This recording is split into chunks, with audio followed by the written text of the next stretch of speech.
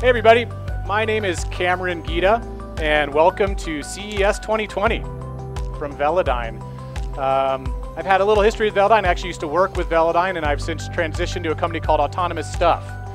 And our business is all about helping people de deploy autonomous systems um, and obviously using uh, Velodyne technology.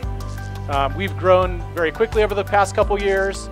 We're now owned by a company called Hexagon, and I'll kind of walk you through the story of autonomous stuff and the synergies of Velodyne. Um, so obviously, there's all these amazing vehicles around us at this show, and as you can tell, we're trying to revolutionize the transportation systems. Um, there's the cities are too congested. We're thinking of novel ways to kind of move people around, and our vision as a company is to help accelerate that and even get to the point where we're actually deploying our own technologies um, in autonomous transportation, autonomous mining, autonomous agriculture, really kind of cross-pollinating a lot of the technologies that come out of automotive into other tech, other uh, areas of manufacturing. So autonomous stuff started in 2010 in a little town called Morton, Illinois. Um, it was just kind of happenstance that we started there. And we were one of the first companies that as a private individual, you could come to us and buy an automotive grade product like radar, Mobileye cameras, and Velodyne LiDAR. We are at our core a distributor, then an integrator, then a technology provider. and we've kind of just hung on the coattails of the industry, addressing needs as we've evolved with startups, with big tier ones, and, and even OEMs. Since 2010, we've, we've grown threefold almost every year. We're now a globally recognized brand with, with offices pretty much all over the world. So if you kind of look at the perception of autonomous driving in a timeline here, um, back in 2004, the DARPA challenge, which was kind of the fomenting moment of, of Velodyne technology, um, people weren't even talking about autonomous cars. This, this was a far thing that, that even up until 2009 when we were watching the little Google Dragonfly vehicles driving around Mountain View, it still seemed like an unattainable thing way, way out in the future.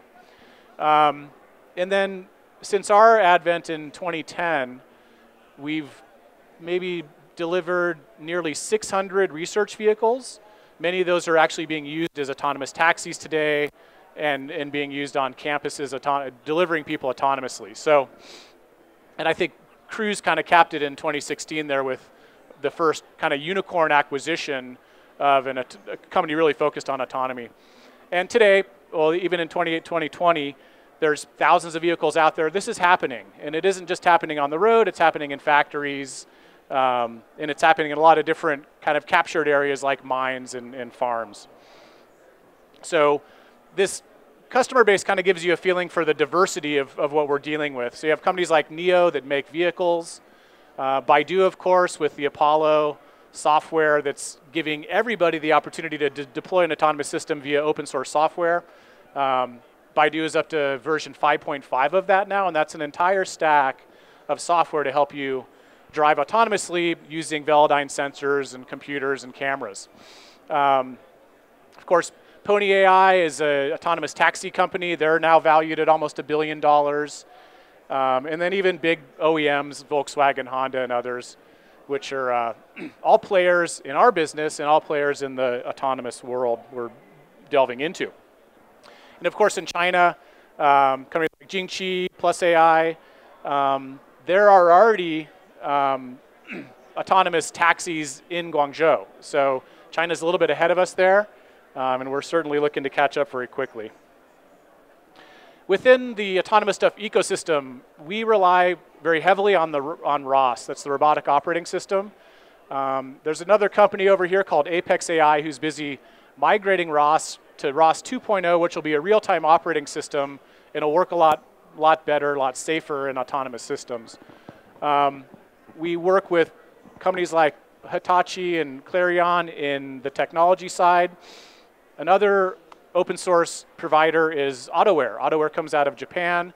It's another full stack of autonomous driving software that's open source, um, kind of rivaling Apollo, but a little more research grade. NXP and NVIDIA provide compute for us, and if you've kind of been following NVIDIA, they've in lockstep, made better GPUs. We rely heavily on GPUs when we're running AutoWare or uh, Baidu software. So these are kind of what our cars look like and who's using them. Um, AutoX up there in the top started out doing cars. AutoX is very much focused on food delivery today. Um, of course, Baidu with Apollo has really promoted the Velodyne sensor. You'll see that that's the old HDL64 on the roof. Um, and all these others. SF Motors has changed to SOCON. Um, and Simple another, they weren't a billion dollar company a couple years ago. They are now another unicorn similar to Pony. Um, Simple does mainly trucking. So even though we don't feel like this is all happening, all these companies are out there making money, getting investments. Uh, simple is delivering US mail today. So autonomously in a semi truck. Pretty amazing stuff.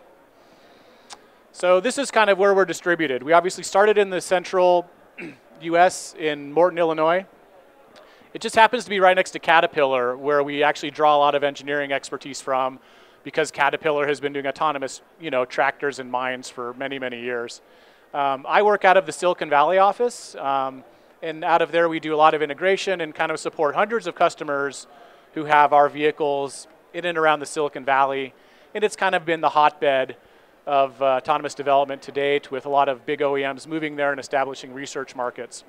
Um, we recently opened an office in Detroit, and with our acquisition, um, with Hexagon acquiring us, we now have a bigger headquarters in Calgary, Canada.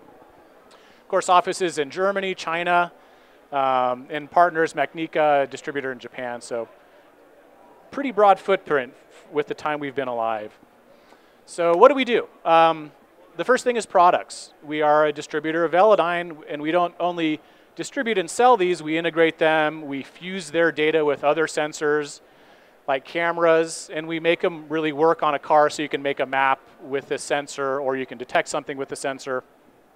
Um, and, and, really making getting the most power you can out of it. Um, and that's wrapped up in a lot of our services, which come down to consulting. If you want to deploy a car, we can help you to select what sensor do I need? What vehicle do I need? What compute do I need? How do I keep that stuff cool? How do I power it?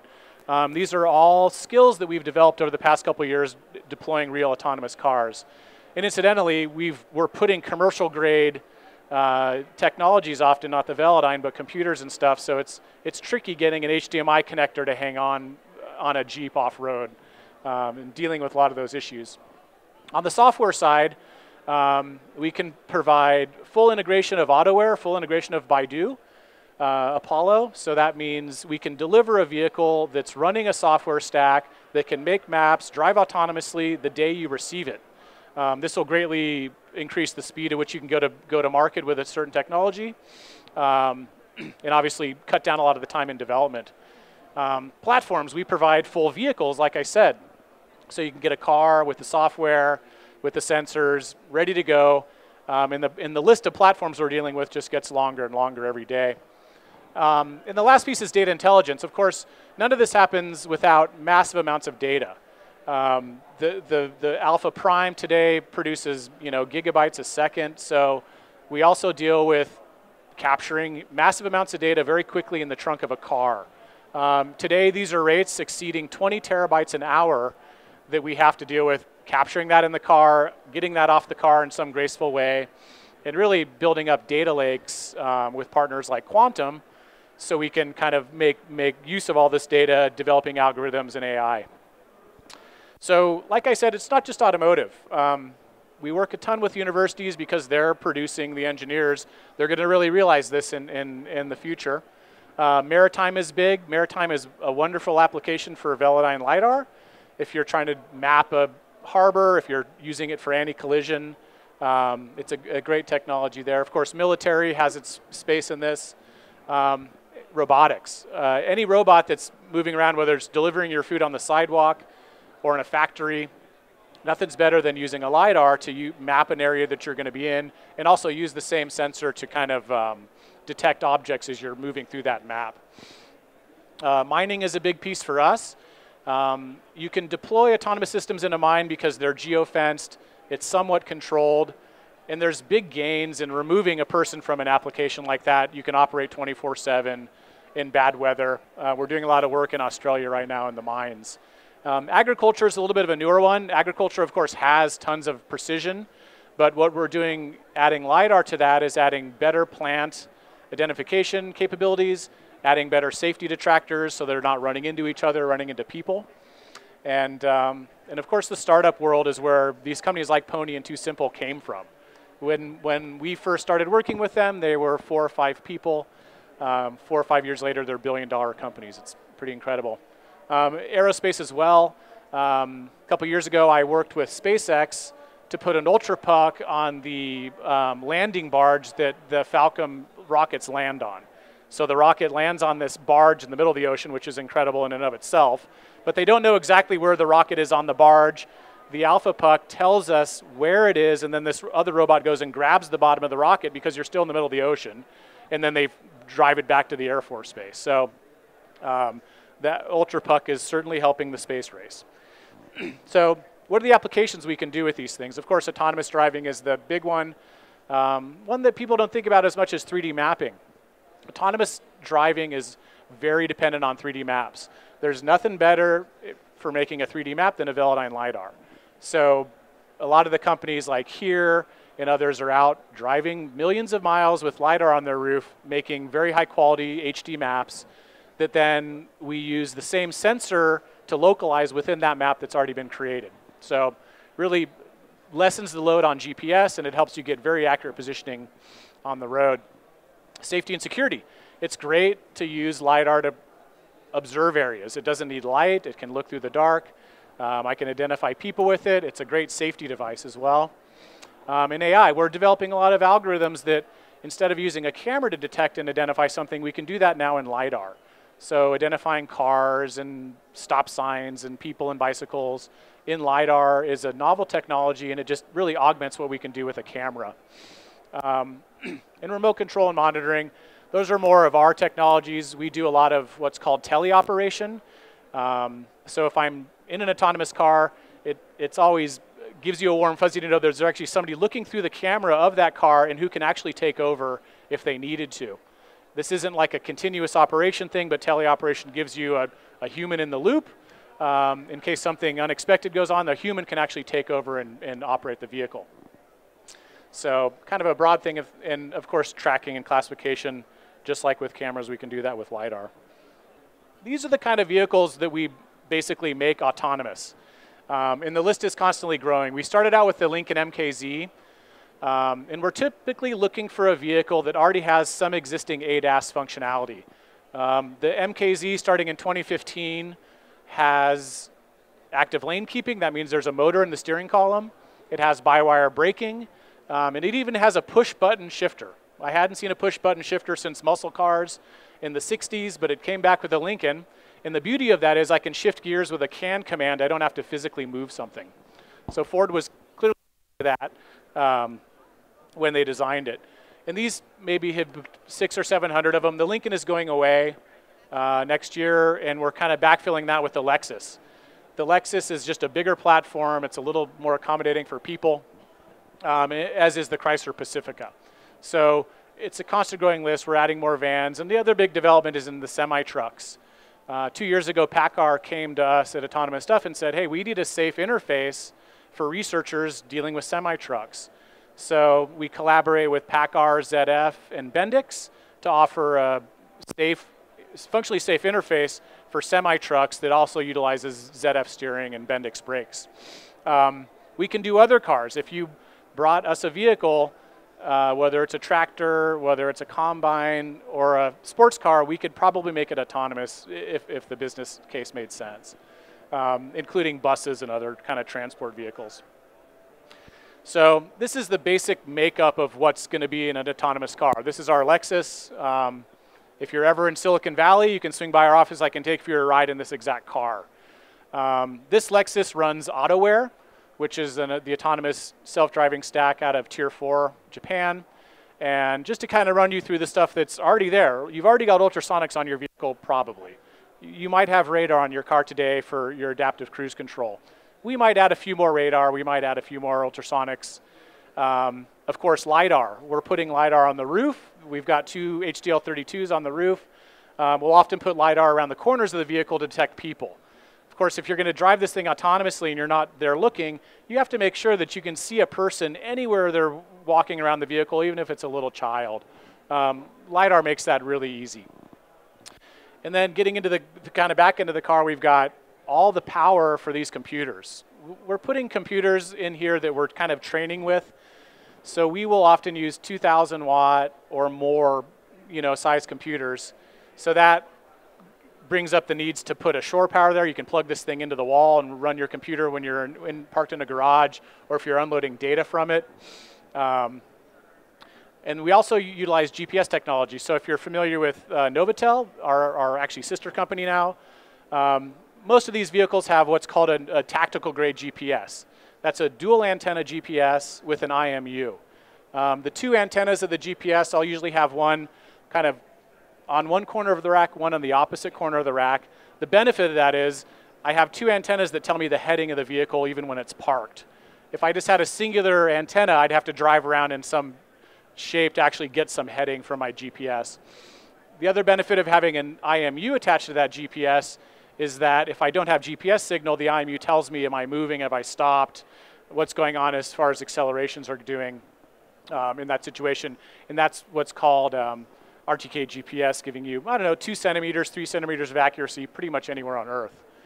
Um, and then last thing is a camera. We're obviously typically fusing camera data with LiDAR data to give us, you know, a multimodal sensing detection to tell us I'm detecting a person in LiDAR, I'm detecting a person in radar, I'm detecting a person with a camera. That data fusion gives me a very good probability of what I'm actually seeing is real. And, and that's the essence of what's in an autonomous car today. This is going to continue, and all you're going to see is further miniaturization of the technologies, lower cost of the technologies, higher volume, and, um, and, and just more intelligence on the edge. So, but this operates like a car will in the future, but we're just going to shrink down all the sensors, shrink down the power consumption, um, and increase the safety. So. And then the silicon is a huge piece of this, right? I mean, all of these players are developing the decision making, the inference engines that have to make the decisions on what the car is going to do. So, with this much investment going into this, you know this is a, a real thing by now. Um, NVIDIA, with their GPU technology, of course, we're analyzing all sorts of images. GPUs are fantastic for that, and NVIDIA is certainly benefiting from it. Um, QNX is a little more on the communication side. Another interesting technology we utilize in autonomous driving is DSRC or 5G. We're using radios to either tell us how close is the car next to me, or that's V2V, or what's happening 10 miles down the road, that's V2X. I can communicate with other infrastructure to say there's a traffic jam, there's ice, there's something going on that I might need to know about if I'm not driving. Um, other companies like this, you know, Mobileye and uh, Hitachi making cameras. They make already edge computing cameras that are detecting lanes, detecting people, really just augmenting that safety equation for autonomous driving. So pretty exciting stuff. And of course, the research at universities will be then deployed a couple years down the road as the newest technologies. We spend a lot of time working with these, these research institutes because we know that's where the next spark of innovation will come from. So of course, University of Waterloo was one of the first vehicles we ever delivered. Um, out on the West Coast, UC Berkeley and their, their program, uh, Berkeley Path. Um, Texas A&M has one of our trucks, so pretty awesome to see these, these uh, new entrants. And then most of the engineers we work with at, at a university end up at a startup or a tier one as soon as they leave. So this is the entire range of products that we distribute and integrate. And as you can see, it's kind of like a, a, expanded list of what we see on that vehicle, but when we say 3D, that essentially means LiDAR or LiDAR mapping. Um, it's really the only 3D product we deal with. Actuation, we sell motors, Cannon actuators for making your steering wheel turn, actuating the brakes. Um, and these are devices or motors that actually talk in CAN, so they're going to operate with the regular system that's already in the vehicle. By-wire controls, we develop our own safety critical by-wire controller called PACMOD. And what that is, is the computer that is the interface between your inference, I made a decision, and the steering wheel. So it's, and it's a core piece of autonomous technology because this device, the by-wire control, has to decide how do I move the steering wheel did I move the steering wheel? Um, and, and, was it executed safely? So by-wire control is a piece that a lot of people don't think about, but that interface to the vehicle is, is, a, is a core piece of safety. Um, and we also tune these things to where an interface or a, a, command given to it feels as if a human is deploying it. So we will teach the actuator to behave like a human so you don't feel like a robot's driving the car. Um, of course, compute and data acquisition, and even things you might not think about, enclosures. Like we use a lot of machine vision cameras. I can't just put those out in the environment on their own. We develop a lot of custom waterproof enclosures, either to keep them clean, to keep them dry, to keep them from breaking, to keep them from getting stolen. Um, we obviously sell kits and platforms, software. I mean, it's a huge list of stuff and it's constantly growing. The other thing we do at Autonomous Stuff is really keep our eye out for new technologies, maybe have a new software module that we can distribute. You've got sensors we can distribute. Um, we find a lot of homes for new technology that are just entering the autonomous world. And the Velodyne lineup. So when I started at Velodyne quite a few years ago, we had the HDL64 and, and the 32E. Um, the Puck, the VLP16 had just come out. And the expansion of the line really from there has been pretty staggering. Um, and the HDL 64 is, is almost like a museum piece with what it's accomplished. But it's continued to grow. The VelaDome is a really interesting one for us, kind of moving from very, very long range to shorter range sensing. And of course, the solid state Velarray is kind of the holy grail that we've all been waiting for, right? It's sitting right there. This really gives us automotive grade uh, robustness and can hopefully drive the cost down to where it can be consumed in very high, high volume. Um, and essentially, if you guys aren't really familiar with this, they're all using time of multimodal time of flight. I'm shooting out a bunch of lasers. The number of lasers varies obviously from 64 up to 128 in these cases. And you know the benefit of a good LiDAR is point density. How many points can I put on an object at, given a, at a given distance? Um, and of course the 128, it almost looks like a 3D photo. The point density is so high. And really another cool thing you can do with LiDAR is multiple returns. I'm shooting these pulses of lasers out. I can actually receive multiple returns. So maybe I'm flying a drone over the forest with my LiDAR shining down on it, and I can image the tops of the trees with the first return. The second return, I can actually see where the ground is. And then when I process all that data, I can just remove the trees. And this technology has actually helped people in Belize discover um, different kind of uh, Mayan temples and stuff because you can actually scan an area and then remove the vegetation. So a lot of stuff outside of uh, the car world that you can do with these, these sensors. And then this is the kind of technology that we put in a car specifically to drive it, in this case with AutoWare. I need a, set, I need a computer with a GPU. Um, I need one radar, just forward facing, a camera, um, Velodyne, either a 128 or a 32 typically for highway speeds, and uh, GPS. So this kit allows you to do low speed urban driving with open source software with a car that you can actuate. It's not a lot of stuff, as you can see. And it's really leveraging very proven technologies that already exist. and then the services we do, of course, engineering and integration is big. Most of the companies we work with don't own tools. Um, I would venture to say that my shop in Silicon Valley is the only autonomous car shop that has tools. Um, so most of our customers that have vehicles are, you know, breaking them, overheating stuff. They're constantly coming back in for us to fix things. Uh, it's become a big part of our business.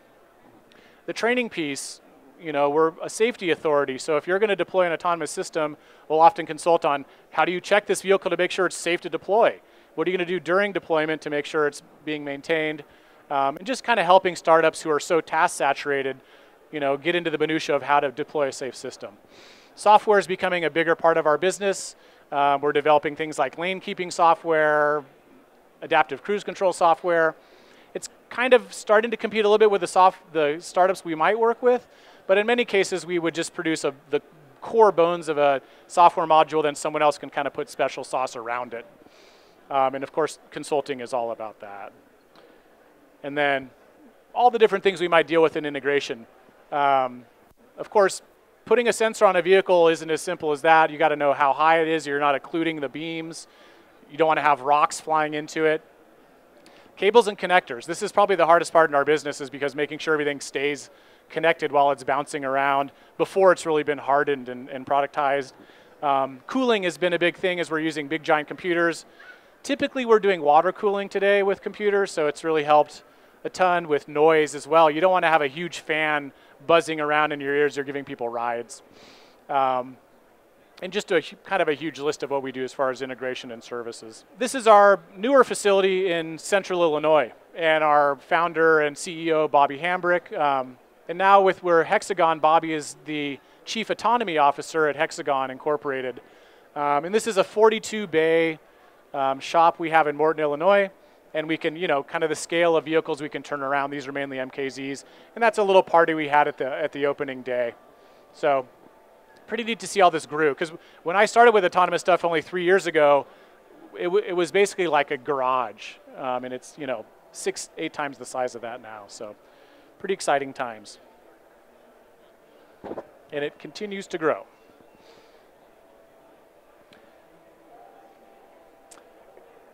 And then the software side, this is really the core stuff that we're developing to help customers, you know, get there quicker. We've got lane keeping algorithms. We've got object processing. We've got LiDAR object processing we can add to your Velodyne. Um, we have full shuttle automation software that can either do a GPS path and drive through it, or using AutoWare, make a LiDAR map and drive through it. And then the core piece is said about making sure it doesn't feel like a robot is driving a car using speed and steering control. These are special algorithms we develop around the braking and steering to make sure that it's smooth and it doesn't make people feel uncomfortable. And I have to say, after doing uh, thousands of autonomous demos for people, the best feedback I get from somebody is like, well, that was boring. And it should be boring. It should just feel like a normal car. It's not going to be some exciting roller coaster ride unless you really want it to be. And then LiDAR object processing. This is when we take Velodyne data and either tell us where the ground is, tell us where the walls are. Um, and it's really doing deeper analysis of raw Velodyne data that we can really pull the, the nuggets of information we need out of it. And using this sort of software helps us just lessen the load of inference on a computer.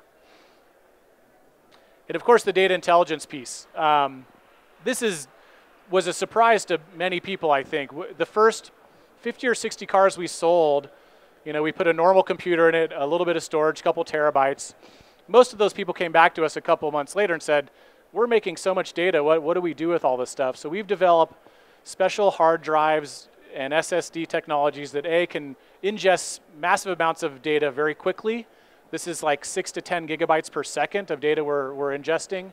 Um, and then basically store that data, maybe help people organize the data, either annotating the data, creating maps with that data. So there's a lot of different things. Huge value proposition in just owning this data. And to kind of give a reference for that, if you bought an HD map of the state of California, every road in California, that's probably going to cost you about $30 million today to get it fully annotated with all your stop signs and stuff. So, And then, of course, you're using this data to make better algorithms um, and, and really to make things safer by training them more deeply. And then this is that kind of workflow of how we acquire data, classify and label the data, privatize the data. Of course, we can't go around filming people's faces and using those in data sets. Um, so that's a big piece of the classification and labeling. Um, you're going to use that data, obviously create algorithms, uh, you, however you're going to do that using deep learning, and then deploy that, and it's a continuous loop of training to really make a system better and safe. And that's it. So if anybody has any questions, I could field them quickly. Um, and if not, you guys have a wonderful CES.